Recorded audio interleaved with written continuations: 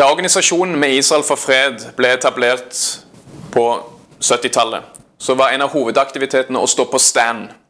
Aktivistene ønska å slå tilbake mot de ensidige og feilaktige og løgnaktige anklagene som ble retta mot Israel.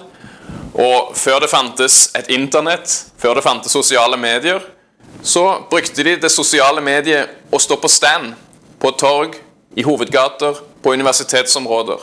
Og det er en aktivitet som MIF fortsatt ønsker å bruke, og som vi har brukt. Flere lokallag er veldig flinke til å stå på stand, og vi ønsker at enda flere av lokallag skal starte med slik aktivitet.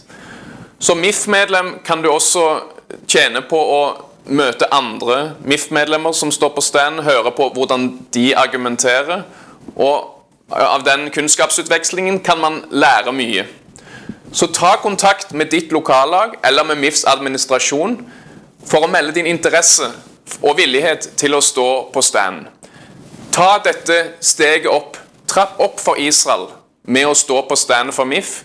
Og sammen så skal vi gjøre det politisk korrekt i Norge og støtte Israel.